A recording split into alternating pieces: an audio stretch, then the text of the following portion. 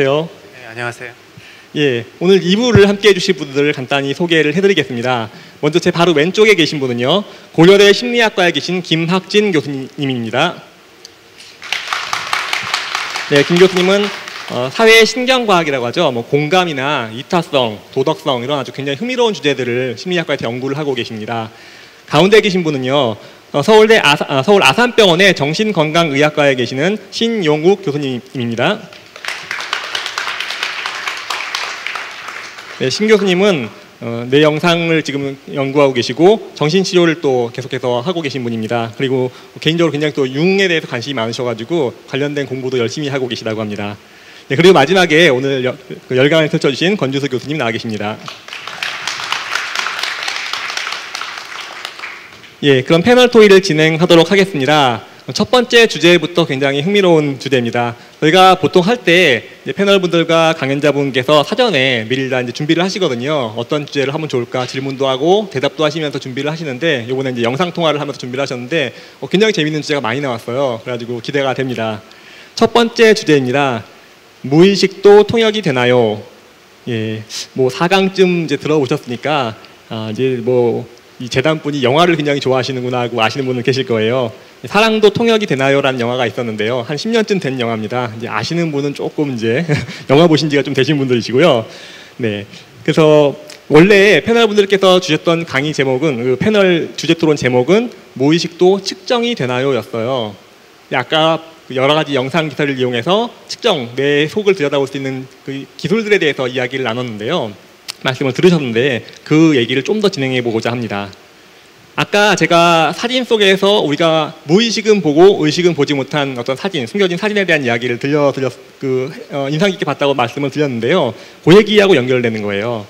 자, 그 만약에 그렇게 어떤 우리가 인식하지 못하고 있지만 뭔가를 보고 뇌는 알고 있다면은 우리가 알지 못한 어떤 소위 무의식이라고 하는 것을 우리가 어떤 영상 기술을 통해서 측정하거나 알 수 있다는 얘기가 될 것 같은데요. 정말 그런가요? 김 교수님께서 한번 먼저. 어, 사실 어, 그 질문에 대한 정확한 답변이 될지는 모르겠는데요. 어, 어떻게 보면 이제 뇌 영상 기술로 측정을 하는 뇌 활동의 대부분은 무의식적인 어떤 심리 과정을 반영한다고 볼 수 있을 것 같습니다. 사실 어떻게 보면은 이보다는 이제 어, 이렇게 끊임없이 활동하고 있는 뇌에서 어떤 부분이 우리의 의식 작용하고 관련이 될 수 있는지라는 그 질문이 더 어렵고 그리고 어떻게 보면 그런 연구들이 굉장히 많이 진행되고 있거든요. 그래서 그 사실 무의식적인 과정을 본다는 거는 뇌영상 기술로는 뭐 굉장히 자연스러운 그런 방법이라고 볼 수 있을 것 같아요. 아, 그럼 어떻게 본다면은 저도 지금 굉장히 어, 미처 몰랐던 것 같은데 어, 어떻게 본다면 내연구라는 거는 기본적으로 무의식을 보는 활동이라고도 할 수 있겠네요. 어떻게 본다면은. 네, 그렇게 어, 볼수 있습니다. 예. 그 신 교수님께서는 이제 정신과 의사이신데요. 그렇다면 그쪽 관점에서 볼 때 이 무의식을 측정하거나 연구하는 것은 어떤 어떤 의미나 방법이 있을까요? 그 저는 저 지금 권조수 교수님 이제 강의를 들으면서 저는 사실 권조 선생님 제자입니다. 그 권조 선생님 밑에 이제 뇌영상을 어, 하게 됐고 그렇지만 지금은 이제 주로 또 연구 외에는 정신치료를 하거든요. 근데 정신치료라는 게 여러분들 아시겠지만 이제 우리가 아는 마음만 보는 게 아니고 우리가 잘 모르는 무의식, 우리가 모르는 마음 때문에 우리가 힘들다. 그래서 이제 이런 걸 알아가는 그러면서 치료하는 과정인데요. 그래서 어, 요 패널 토이 나오기 전에 저희 이제 저희 패널들끼리 의논을 하면서 저는 사실은 권주 선생님 제자들 중에 제일 말 안 듣는 예, 뭐 제일 말을 안 들어서 안 듣는데 왜 이 자리에 저를 불렀는지 사실 저는 어, 잘 모르겠는데요. 그러니까 아마 그런 면에서 제가 조금 권주 선생님 그 강의에 대해서 조금 그 다른 면 그런 얘기를 사실 저희가 미리 했습니다. 그러니까 지금 이제 첫 번째는 무의식이 어, 지금 권주 선생님 보여주신 그런 것처럼 주로 fMRI에서 쓰는 거는 우리가 보는 그런 자극의 역치 저도 사실은 선생님 밑에 있을 때 관심이 많았어요 이런 부분에 그래서 시각적인 자극 역치 말고 우리 뭐 사람이 예를 들면 20헤르츠에서 2만 헤르츠만 들을 수 있다 그러잖아요. 근데 제 생각에는 바깥 박쥐처럼 우리도 좀 들을 수 있지 않을까? 우리는 의식으로 몰라도 그래서 이제 가청 주파수 너머에 있는 소리를 자극을 해서 뇌가 이렇게 되나 이게 연구를 해보려고도 했었는데 실제 하지는 못했습니다. 그런데 이제 그런 거는 무의식이 갖고 있는 하나의 능력 중에 하나고요. 우리가 뭐 실제로 저희가 임상에서 사용하는 무의식은 훨씬 넓죠. 훨씬 넓은 정말 우리가 모르는 마음을 다루는 거기 때문에 그런 부분에서 좀 어, 한계가 있을 것 같고요. 말이 길어져도 되나요? 또 하나는 지금 이제 그 fMRI에서 그 다루는 있는 것들의 하- 방법적인 한계는 뭐 권유 선생님 말씀 안 하셨지만 여러분도 알고 계셔야 되는데요. 어, 예를 들면 우리가 이제 목이 마르다. 내가 목이 마른다고 생각을 할 때 항상 이제 물을 이렇게 먹겠죠. 그러면은 물을 항상 마시기 때문에 우리 근육을 이두박근을 항상 쓸 거예요, 그죠? 그럼 뇌영상 연구에서처럼 만약에 우리 인간에 전혀 모르는 외계인이 이제 우리 인간을 갖고 fMR을 찍으면 이두박근이 항상 나오겠죠. 물이 마르다고 하면. 그러면 어떻게 있냐면 아, 이 이두박근이라는 이 여기 조직이 목을 말라 하는 그거 관- 관련되는 것이다. 이렇게 생각을 하겠죠. 그러나 사실은 다른 부분이 있는 거죠. 요번에 지금 알파고가 그 이세돌 프로 기사를 이겼지 않습니까? 그러면 알파고에서도 그 기계 컴퓨터 기계가 있고 사실은 근데 컴퓨터 기계가 이긴 게 아니라 컴퓨터 기계에 탑재한 소프트웨어 알고리즘은 사람들이 머리를 짜서 만든 거죠.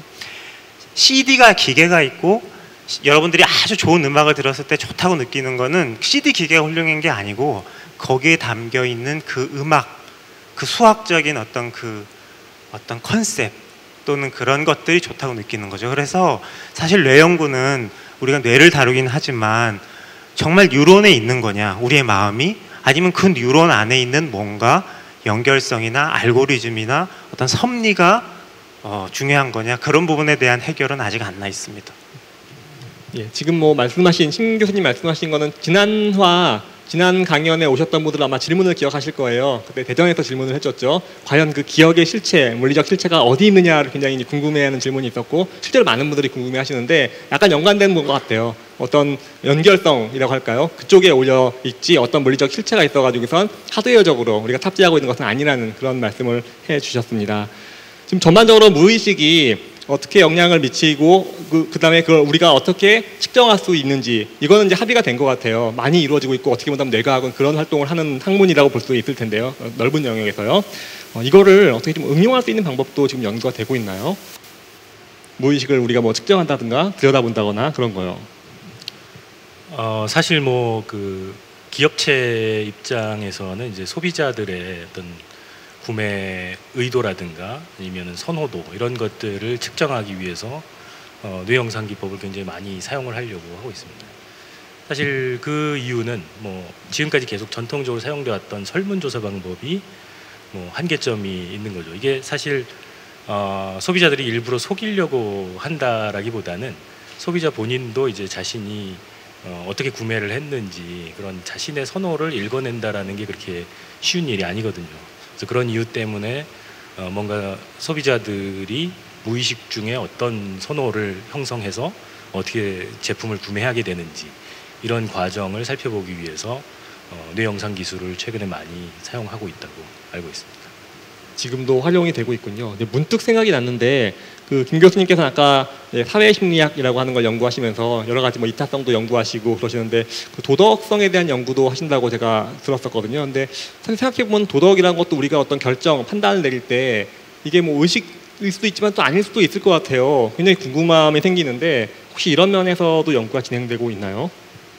어, 예, 그 도덕, 도덕성과 관련된 연구가 이제 어, 뇌 영상 기술을 이용한 연구는 한 2004년 정도에 처음 발표된 연구가 하나 있는데요.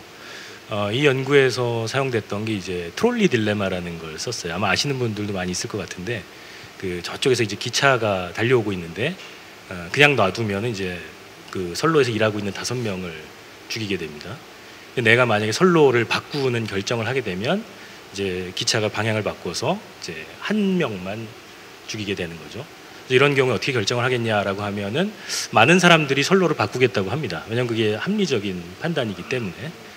근데 이제 상황을 조금 바꿔가지고 내 앞에 있는 사람을 밀어서 그 사람이 기차를 막게 되면 다섯 명을 살릴 수 있다. 그리고 그 사람은 이제 죽게 되는 거죠. 이렇게 이제 상황을 조금 바꿔서 물어보게 되면 이제 사람들이 어, 그렇게는 못한다라고 답변을 합니다. 굉장히 당연하죠. 근데 사실 이 경우에 어, 두 판단을 비교를 해서 fMRI로 이제 촬영을 해봤더니 사람을 미는 상황에서는 어, 뇌의 어떤 특정 부위가 훨씬 더 많이 활성화돼요. 그 부분이 이제 그 부분이 이제 복내 측 전전두 피질이라는 부분입니다. 제가 사실 이 이름을 얘기할 때마다 좀 당황스러워요. 이제 다들 이제 좀 거북해 하시거든요.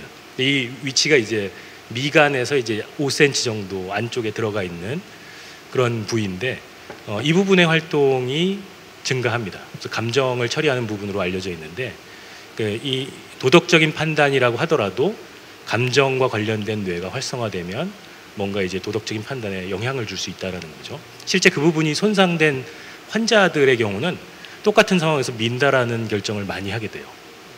어떻게 보면 우리가 흔히 떠올리는 그런 사이코패스하고도 조금 관련된다라고 볼 수 있는데 어, 그런 여러 가지 연구들을 종합해 볼 때 그 복내 측 전전두 피질이라고 하는 부위가 그 무의식 중에 감정적인 어, 처리를 해서 도덕적인 판단에 영향을 미치는 그런 어, 뇌 부위라고 이제 볼 수 있을 것 같습니다.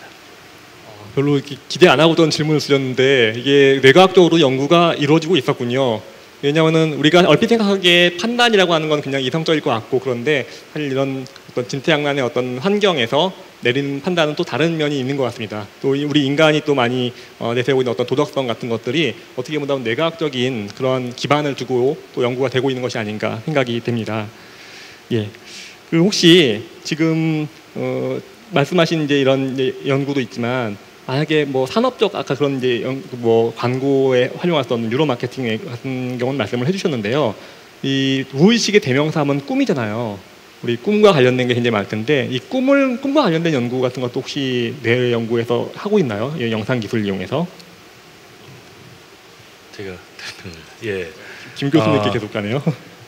에, 사실 그 혹시 마이너리티 리포트라는 영화를 보신 분들이 있으신지 모르겠는데 아, 아마 보신 분들은 적어도 한 30대 정도는 되셨다고 생각이 듭니다. 한 15년쯤 전에 했던 영화인데 아, 이, 영화에서 보면은 이제 그탐 크루즈가 이제 어떤 그 범죄를 잠재적인 범죄자로 이제 어, 어, 알려졌을 때 이 사람이 이제 머릿속에서 하는 어떤 시각적인 이미지가 모니터에 나오게 되죠.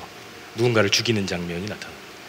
그때는 이제 15년 전이기 때문에 이런 상황을 정말 상상할 수 없는 어, 그런 기술이었는데 어, 한 몇 년쯤 전에 굉장히 유사한 기술이 나타났어요. 실제로 어, 어떤 사람이 MRI 기계에 들어가서 컴퓨터 스크린에 제시되는 사진이나 동영상을 보게 되면 그때 이제 뇌 활동이 나타납니다. 시각 피질의 활동이 나타나는데 이 활동을 이제 기록을 해서 이걸 다시 분석을 한 뒤에 그 사람이 보고 있는 시각 이미지를 컴퓨터 스크린에 이제 재구성해내는 그런 기술이 이제 아, 만들어졌어요. 그게 처음 나왔을 때 굉장히 큰 센세이션을 불러일으켰는데 그 똑같은 그룹에서 몇 년 뒤에 이번에는 꿈을 어, 이미지화 하겠다라고 해서 이제 그 연구도 이제 한 2, 3년 전쯤에 나왔습니다. 그 연구에서 이제 램 수면에 있는 사람들이 이제 시각적인 이미지를 보는데 그때 이 사람을 이제 바로 깨워서 어, 물어보게 되면 그 사람이 실제 꿈을 꿀 때 봤던 이 시각적인 이미지를 어, 그 컴퓨터 모니터로 영상화 시킨 걸 이제 볼 수 있었던 그런 연구들이 있었죠. 사실 이 기술이 이제 음, 발전하는 속도를 보게 되면 어, 얼마 멀, 멀지 않은 장래에 미래에 우리가 생각하는 어떤 상상하는 이미지들을 이렇게 모니터로 볼 수 있는 그런 기술이 나올 수도 있을 것 같다는 생각을 합니다. 아, 이게 어떻게 보면 꿈을 찍는 뭐 그런 느낌이네요. 아, 뭐 이렇게 영상 기술이 물론 이제 우리가 알고 있는 그 이미징 기술하고 좀 다릅니다. 여기서 나- 말씀하시는 거는 아마도 어, 실험 결과 나중에 이제 서술을 통해서 복원해낸 어떤 이미지, 서술적인 이미지들을 복원해냈다는 그런 뜻으로 볼 수 있을 것 같은데요. 생각 이상으로 이 무의식을 들여다보는 활동들이 좀 활발하게 이루어지고 있는 게 아닌가 싶습니다. 혹시 이, 부- 이 분야에 대해서 좀 두 분 교수님께서 덧붙이실 내용이 있으실까요? 네, 저는 이제 그 융학파에서는 뭐 정신 치료할 때 꿈을 봐요. 그래서 꿈을 이제 보면 꿈을 꿈을 꾼 걸 갖고 오라고 해서 각자 가지고 있는 꿈을 갖고 온 꿈을 보면서 이제 그게 어떤 의미가 있을까 보죠. 근데 제가 이제 저는 뭐 이- imaging 연구를 하니까 제가 항상 받는 느낌은 제 데이터 보는 느낌이에요. 데이터. 아까 이 뇌파 이렇게 보면 사람마다 이렇게 resting 상태에서 뇌파가 있잖아요. 그러면 저는 이제 어 제가 뭐 다른 background가 이제 imaging을 했으니까 꿈을 보면서 아 이건 이 사람의 데이터구나. 이 데이터를 어떻게 해석을 할 건가. 그가 개꿈이라고 보질 않죠. 개꿈이란 건 없다고 보는 거예요. 어, 다 뭔가 이유가 있기 때문에 나오는 그 사람의 어떤 상 이미지라고 보는 거라서 그런 면에서는 뇌영상하고 그런 부분하고 통하는 부분이 있는 것 같습니다. 네. 어떻게 보면 꿈이라는 것도 우리가 깨어 있을 때의 무의식 같은 건 연구를 많이 했을 텐데 또 자고 있을 때의 어떤 무의식을 반영하는 걸 수도 있고 굉장히 흥미로운 분야라고 생각이 돼요. 가끔 이제 제가 이런 뭐 취재나 이런 거 하다 보면은 아직 밝혀지지 않은 분야가 굉장히 많거든요. 그럼 저는 굉장히 기분이 좋습니다. 앞으로 더 호기심을 충족할 게 많이 남아 있다는 생각에 거대한 미대, 그 미지의 대륙이 남아 있는 그런 느낌이에요. 예. 그러면은 두 번째 주제로 넘어가려고 합니다. 두 번째 주제를 지금 화면에 띄워주셨나요? 예. 사랑은 단지 뇌 속 폭풍에 불과하다고 이게 두 번째 주제입니다. 아마 짐작하실 거예요. 아까 내용에서 나왔었죠. 우리 사랑은 뇌가 한다라는 표현을 우리 권조석 교수- 교수님께서 쓰셨는데요. 어떻게 본다면은 사랑이 그냥 신경 전달 물질의 작용이라고도 말할 수 있는 그런 건데 어, 사랑에 목숨을 거는 분들도 굉장히 많이 계시죠. 어, 굉장히 실망을 많이 하실 것 같아요. 나의 이 고귀한 사랑이 단지 뇌의 작용이라니. 하지만 뇌과학에서 바라보는 또 시각은 다를 수 있으니까요. 어, 혹시 이 점에 대해서 좀 다르게 생각하시는 분이 계실까요? 그 혹시 사랑에 굉장히 그 고귀한 그 지위를 어, 대변해 주실 분. 네, 예. 뭐 정신과 의사는 제가 정신과 의사 입장에서 얘기하면 정신과 의사는 어 크게 아까 뭐 psychosis neurosis 나왔듯이 조금 나뉠 수 있습니다. 그러니까 정신 치료를 되게 중요하게 말로 하는 치료를 중요하게 생각하는 사람이 있고 또 이제 약 치료를 물론 다 같이 해야 되지만 이제 전공에 따라 나뉘는데 이제 전공 정신 치료하는 사람 사람들은 뭐 초- 특히 초반 이제 처음 저 초자 초, 초 처음 하시는 분들은 이제 그런 얘기 들으면 굉장히 좀 기분이 나빠합니다. 아 이 정신이 얼마나 고귀한 그런 건데 이 물질에 그렇게 쉽게 영향을 받고 그 기분 나쁘고 저도 뭐 그런 면에서는 한 마음 한편에서 여전히 그런 게 있는데요. 이제 그럼에도 불구하고 지금 나온 주제에 반박을 하기 좀 어려운 것들이 이제 임상에서 이런 그런 예를 보죠. 그래서 아까 뭐 종교나 스- 사랑이나 이런 것도 제 생각에는 그 안에 다양한 그 스펙트럼이 있어요.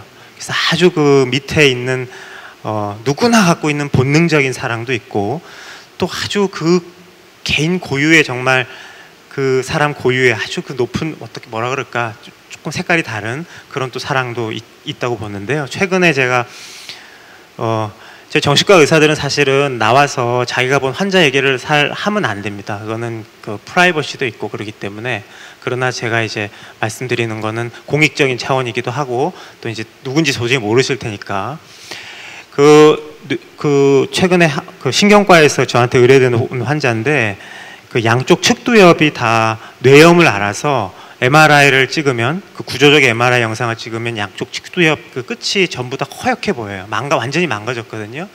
근데 이분이 이제 굉장히 점잖은 남자분이었는데 이 병을 앓고 난 뒤에는 저희 간호사만 보면은 아주 정말 사랑 자기 사랑한다고 어 그것도 뭐 가짜로 뭐 어떻게 어떻게 해보려고 하는 게 아니라 진심으로 정말 막 사랑한다고 이렇게 얘기를 하거든요. 그래서 그런 거 보면서 이 사랑이 갖고 있는 이제 여러 가지 축등에 분명히 이런 물질에 기반해서 물질의 변화는 지금 말씀드리는 그런 측면은 분명히 있다고 생각을 합니다. 그래서 뭐 내가 그 사랑할 수 있는 뇌가 망가진다고 하거나 그러면 그, 그 위에 있는 차원의 사랑도 쉽지는 않겠죠. 네. 어, 그러면은 그분 같은 경우는 이렇게 지나가다 어떤 분을 봐도 금방 사랑에 빠지는 네, 너무나 사랑을 받아가지고 이제 뭐 민- 제가 말씀드리기 민망할 정도의 여러 가지 행동들을 하셔서 어, 그 사람 치료는 어떻게 했냐면은 그뭐 이건 그분 치료는 그 저 프로제스테론 여성들이 임신하면 생기는 호르몬을 남성한테 씁니다. 그러면 제가 판단키로는 그분에게 모성적인 부분을 강조시키는 거죠. 그러면 그런 것 성적인 그런 욕구가 많이 줄어들었어요. 그래서 그런 치료를 사실 했었습니다. 왜 그런 거 보면 물질에 의해서 작용을 하는 거죠. 예, 아, 사랑에 대한 어떤 그 새로운 희망을 얻고 싶어서 질문을 주셨는데 우리 뭐 금사빠 이런 말 농담으로 많이 하는데 이게 현실에 있는 거네요. 함부로 농담을 할 수 있는 그런 말이 아닌 것 같아요. 우리 아, 권 교수님께서 혹시 희망을 주실 수 있을까요? 근데 이제 궁극적인 거는 이 신경세포 또 신경전달 물질 이런 물질적인 것과 우리가 손에 잡을 수 없는 이런 형이상학적인 정신 기능 이 양면이 서로 연결을 아직 못 시킨다는 거죠. 분명히 뇌에서 나오는데 이쪽에서 보면 물질이 보이는 거죠. 근데 그걸로 설명을 이쪽 극단에 있는 현상을 설명을 해야 되는데 아직 하질 못하고 있습니다. 이쪽에서 보면 이 현상은 보이는데 이 현상이 어떻게 나타나는가를 저쪽 끝에 있는 물질로 설명을 아직 할 수가 없습니다. 그래서 궁극적인 것은 결국 이 두 가지의 이런 연결을 과학적인 발전이 해결을 하면 어, 뭐 설명이 되리라고 생각은 되지만 언제 될지 그건 이제 궁금하죠. 이게 어떻게 보면 두 개의 층위가 다르다는 말씀이신데 마지막으로 심리학자분께 희망을 걸고 여쭤보겠습니다. 어떠신가요? 예, 저는 사실 그 사랑에 대해서 말씀하셨는데 오히려 더 많은 악포를 악플을 각오하고 말씀을 드려야 될 것 같아요. 저는 사랑뿐만이 아니라 공감이라든가 뭐 도덕성, 이타성 우리가 이제 뭔가 고귀하다고 생각하는 여러 가지 그 인간의 어떤 본성들 이런 것들도 모두 다 이제 뇌 활동과 관련된다라고 생각을 합니다. 사실 제가 이런 얘기를 하게 되면 굉장히 불쾌하시는 분들이 많아요. 그러니까 어떤 어, 강의 뒤에 어떤 어린 학생이 찾아와서 어, 도대체 이런 연구를 왜 해야 되느냐라고 이제 막 울먹이던 적도 있었습니다. 사실 이런 것들이. 아, 근데 사실 심리학에서 보면은 어, 뭔가 이제 자신이 인정하고 싶지 않은 어떤 어두운 측면들 이런 것들을 다 인정하고 받아들이면서 이제 좀 더 성숙한 자아로 나아갈 수 있다라고 이제 믿거든요. 그런 시, 어, 관점을 가지고 있는데 사실 저는 뇌과학이 굉장히 비슷한 걸 해줄 수 있다고 생각을 합니다. 이제 우리가 의식으로 이제 볼 수 없는 그런 어, 우리 인간의 어떤 숨겨진 측면들 이런 것들을 이제 어, 끄집어내서 볼 수 있게 해줌으로써 우리가 이제 막연하게 알고 있던 그런 편견들을 좀 깨줄 수 있을 것 같아요. 그러면서 좀 더 성숙한 인간관을 갖게 하는데 어, 많이 공헌을 해줄 수 있지 않을까 그렇게 생각을 합니다. 그리고 이제 마지막으로 이제 한 가지 좀 희망적인 메시지를 좀 드리자면 어, 아까 이제 그 권주수 교수님께서도 보여주셨는데 어, 뭔가 사랑하는 사람이 자신이 사랑하는 여자친구를 볼 때 이제 뇌에 어떤 부위가 반응하는지를 봤더니 이제 쾌감 중추가 나타났다, 보상 회로가 나타났다. 어, 이런 결과들이 사실 어, 굉장히 재밌는 결과인데요. 물론 중요한 결과입니다. 근데 어떻게 보면 어, 이 결과를 좀 이해하기 위해서는 fMRI 연구에 대한 그 기본적인 원리를 좀 이해를 해야 되는데요. 기본적으로 fMRI 연구들은 굉장히 많은 수의 피험자들을 다 평균 낸 결과를 보여줍니다. 그래서 어떻게 보면은 각각의 개별 참가자들, 피험자들은 여자친구의 사진을 볼 때 자신만의 아주 독특한 과거 기억들 그리고 경험들을 떠올리게 되거든요. 근데 이런 것들은 다 평균을 내는 과정에서 사라져버려요. 제거가 됩니다. 그리고 모든 사람들이 다 공통적으로 경험했던 부분만 이제 평균에서 살아남게 되죠. 바로 그 부분이 이제 쾌감 중추의 어, 활동이라고 볼 수 있습니다. 그래서 어떻게 보면은 뭔가 사랑이라고 했을 때 이렇게 그 쾌감 중추의 반응, 모든 사람들이 다 공통적으로 반응하는 이 부분의 활동보다는 개별 피험자들이 다 자신만의 독특한 경험들을 떠올리게 되는 이런 부분이 어떻게 보면 사랑이라고 정의할 때 더 중요한 부분일 수도 있을 것 같아요. 그런 부분은 아직까지 어, 명확히 관찰될 수 없는 부분이 아닐까 싶습니다. 아, 뭔가 이렇게 가슴이 따뜻해지는 말씀을 해주셨어요. 어떤 사랑의 개별성이라고 할까요? 이 보편적인 것도 분명히 있고 뇌과학은 그런 분야를 어, 실험의 대상으로 하고 연구를 하고 있지만 사실 치환될 수 없는 어떤 그런 개별성이 있는 것 같아요. 모두가 다 마음속에 품고 있는 그런 부분을 지금 말씀을 언급을 해주신 것 같습니다. 예, 그 마지막으로 이 주제가 돼서 간략하게 하나 더 여쭙고 싶은 게 있어요. 만약에 이렇게 뭐 물질적인 기반이 있다면 사랑이 뭐 사랑도 좋고 다른 감정도 좋습니다. 이것을 일부러 하게 인위적으로 만들 수도 있을까요? 혹시 뭐 의학적으로 그게 가능할까요? 사랑의 묘약 노래 제목이네요. 아직은 저는 잘 모르겠습니다. 네. 지금 뭐 미국에서 경험하신 거 있으세요? 아, 네, 네, 뭐 아까 저 그 침을 찔러서 이제 그, 그 방법이 그 강박증에서도 쓰지만 미국에서는 우울증에 허가를 받았어요. 그 FDA 허가를 받았어요. 그래서 우울증에 사용을 할 수가 있거든요. 그래서 제가 미국에 있을 때 이제 그런 사례를 이제 그 본 적이 있는데요. 어, 그 우울증을 치료하기 위해서 이제 그 우울증과 관련된 부위를 찔러 나가면서 탐색을 하거든요. 그 침 끝에 위치가 다른 전극들이 있어서 어디 부위에 전극을 주면서 근데 어느 중간에 한 부위를 자극을 했는데 그, 그 치수를 받았던 분이 그 지복 정말 너무나 행복하다. 하, 정말 이렇게 행복할 수가 없다면서 환하게 웃으면서 이제 그런 거를 봤어요. 그래서 제가 그걸 보고 굉장히 실망을 했습니다. 이게 아니 이, 이 상, 이 인간의 이런 그 굉장히 어떤 그 행복감이 저 전류 3 암페어의 3 볼트의 전류에 의해서 저렇게 유발이 되니 참 그런 생각을 했거든요. 음, 그래서 어떤 분은 뭐 권조선님도 말씀하시고 또 상당수 정신과 의사들이 아마 미래에는 약만 먹으면 아마 어, 행복해질 거다. 저는 그 부분에서는 반대를 하고 싶어요. 왜냐하면 행복이란 거는 상대적인 거기 때문에 그 사람이 계속 그렇게 행복한 감감을 느낄까? 아까 경조증이 없어지는 것처럼 그래서 모든 사람이 행복하면은 아마 행복하지 않겠죠, 그죠? 음, 그래서 행복과 불행 이런 거는 상대적인 거기 때문에 아마 그 부분은 역시 또 딜레마로 아마 남지 않을까 이런 생각은 하고 있습니다.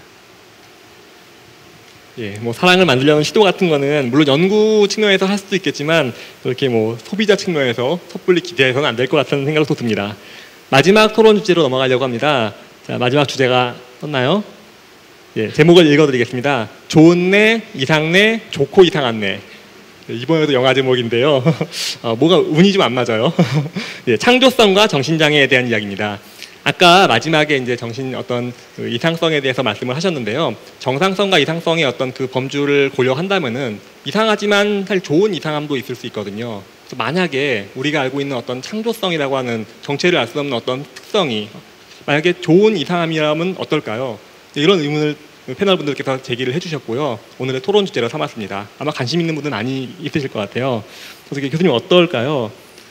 이, 부, 이 분야에 대해서 제가 예전에 얼마 전에 뭐 이렇게 전시한 걸 봤는데 굉장히 이제 독특하고 뭐 어린아이가 그린 것 같기도 하고 색감도 굉장히 독특해가지고 어 이게 굉장히 신기한 그림이라고 봤는데 알고 봤더니 이제 정신 장애를 가지신 분이 화가분이 그리신 거라고 하더라고요. 그래서 굉장히 놀랐던 기억이 나는데 연관이 좀 될까요? 네, 그래서 제가 다른 또 케이스 하나를 얘기하겠습니다. 제가 두 개만 얘기하죠. 앞에 케이스랑 이분은 조현병 조현병 환자분이신데 그 뭐 직업이나 이런 거 조금 바꿀 수 있습니다. 그러니까 지금 제가 말씀드린 분이 본인이 아는 분이 아닐 겁니다. 그래서 이제 이분은 어 이제 대학 대학 교수님이신데 조현병 환자분이시죠. 그래서 약을 쓰고 있어요. 그런데 이분은 논문을 굉장히 잘 쓰세요. 본인이 뭐라고 표현하냐면 나는 A하고 B하고 C 전혀 상관없는 A, B, C를 연결을 시켜서 이론을 잘 만드신대요. 그래서 실제로 그분이 쓴 논문이 그 해외에 가면은 어 정말 독특한 논문이다. 그래서 논문도 잘 쓰시고 또 굉장히 영어를 잘하세요. 그래서 이제 영어 강의를 하면은 정말 잘한다고. 그래서 어 그런데 이제 가끔 이제 문제가 돼서 제가 이제 그 항정신병 아까 도파민을 막는 도파민의 분비를 막는 그 약을 쓰면 논문을 일단 못 쓰겠고 영어가 안 된다 그럽니다. 어, 그래서 왜 자기의 그 창조의 목을 틀어막냐고 저한테 항의를 하셔서 최소한의 약물만 쓰는데요. 그래서 그런 면에서 그 융은 그 조현병을 뭐라고 그랬냐면 그 환자분들을 실패한 신비가라 그랬어요. 실패한 신비가. 사실은 신비가들인데 이 조금 잘못돼서 이 그래서 아마 그런 창조성하고 어떤 병이라는 거가 사실은 그렇게 멀지 않은 음, 오히려 정상인이 창조적인 것보다 우리가 어, 좀 터부시하고 배관시하는 환자분들이 창조적인 부분이 더 많을 수가 있어요. 네. 그 저는 창조성을 좀 엉뚱합니다 이렇게 생각을 하는데요. 그냥 남들이 하는 걸 따라하는 건 창조가 아니죠. 근데 약간 엉뚱한 것, 조금 남들과 다른 것 이게 창조성인데 이제 정신질환에 있는 분들은 아까 제가 말씀드린 대로 뇌의 신경 그 연결이 약간 이렇게 느슨해져 있다. 뭐 이런 게 약간 있습니다. 그러니까 이제 어떻게 보면은 약간 엉뚱한 생각 엉뚱한 행동 이런 게 있는 거죠. 근데 창조성이라는 게 그런 게 있어야 창조가 되는 거죠. 그래 당연히 과- 연관이 있는 거죠. 근데 문제는 이제 그런 자신의 행동이나 생각이 남들이 볼 때 어떻게 볼 건가. 뭐 이런 판단력, 현실감 이런 게 어느 정도 있으면 그게 창조적으로 또 작용을 할 수도 있고요. 그런 게 깨지면 오히려 이제 병적인 그런 게 더 커질 수도 있다 이런 생각을 하게 됩니다. 혹시 그럼 궁금해지는 게 이게 창조성이라고 하는 것이 어떤 아까 이제 뭐, 뭐 좋은 이상함이든 어쨌든 약간 이제 좀 어, 다른 종류의 그 정상성이라고 본다면요. 이거가 어떤 내 기능 아까 연결성 말씀도 하셨었는데 그런 연결성이라든가 구조나 뭐 기능 이런 면에서 결정돼 버리는 그런 측면도 좀 있을까요? 타고 난다고 해야 될까요? 네. 그 지금 이제 보시는 게 저보다 뇌의 구조가 어떻게 되면 이런 증상이 나타나고 우리 구조에 의해서 증상이 나타나고 이렇게 생각을 하니까 구조에 의해서 마치 우리 정신이 결정되는 듯한 이런 느낌을 받지만요. 어 뭐 이제 저희는 이제 대화 말로 치료를 하죠.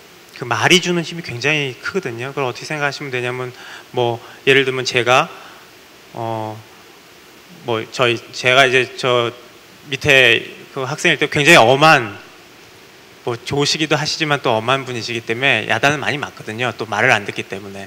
근데 이제 어느 날 우리 교수님이 뭐 저도 못 듣는데 다른 사람하고 아우 뭐 신 선생은 참 훌륭해. 그러면 이제 제가 아마 그 그달의 논문 그 작성률이 아마 200% 증가하겠죠. 그 그 말 한마디 때문에 저는 머리에서 도파민이 나오고 엔돌핀도 좀 나오고 나오겠죠. 그러니까 그 말 때문에 사실은 우리 신경 전달 물질이 분명히 분비가 되거든요. 음. 또는 저글링 하는 거, 저글링을 많이 하는 그 사람들은 얼마 안 지나서 그 저글링 담당하는 그 모터 부위를 담당한 뇌에 볼륨이 커진다는 연구들이 있거든요. 그래서 이 환경이 다시 구조해 주는 그런 영향들은 이미 사실 알려져 있거든요. 어, 그래서 어, 상호작용하는 거죠. 사- 일방향이 아니라 서로 상호작용하는 그런 어, 거라고 생각할 수 있을 것 같습니다. 이게 이게 그 소위 그내 가소성과 관련된 얘기겠죠? 예, 사실 그 뇌의 구조가 당연히 어떤 그 기능을 결정하는데 많이 그, 그 제약을 가할 수는 있겠지만 그걸 이제 사실 변화시킬 수 있는 여러 가지 방법들이 있거든요. 어떻게 보면은 거의 한 수천 년 동안 이미 우리가 써왔던 방법이라고도 말할 수 있네. 바로 명상입니다, 명상. 그 오랫동안 이렇게 연구가 됐는데도 사실 어, 이 명상의 어떤 과학적인 기제에 대한 연구는 굉장히 최근에 오히려 더 활발하게 시작되기 시작됐습니다. 주로 이제 그 어, 서양 문화에서 더 많이 활발하게 연구가 되고 있는데요. 어, 예를 들어서 이제 편도체 아까 편도체에 대해서도 간단히 말씀을 하셨는데 우리 뇌에서 정서적인 정보를 처리하는데 굉장히 그 큰 역할을 담당하고 있는 그런 부위입니다. 그래서 이 부위하고 전두엽 간의 어떤 기능적인 연결성이 강하게 되면은 어, 그 스트레스 반응이 좀 더 증가한다라는 그런 연구가 있어요. 근데 굉장히 오랫동안 어떤 그 명상 트레이닝을 받고 나면 그 연결 강도가 점점 점점 줄어든다라는 그런 연구 결과가 최근에 발표된 바가 있습니다. 그래서 사실 어, 이게 굉장히 시작에 불과할 수 있겠지만 어, 이런 것들을 보게 되면은 명상이 그냥 막연하게 어떤 긍정적인 효과를 준다라는 그런 말보다는 어떻게 보면 굉장히 구체적인 뇌의 어떤 회로를 바꿔놓는다. 어, 라고도 볼 수 있고요. 그래서 그런 방법들을 이제 조금씩 조금씩 알아가는 단계라고 볼 수 있습니다.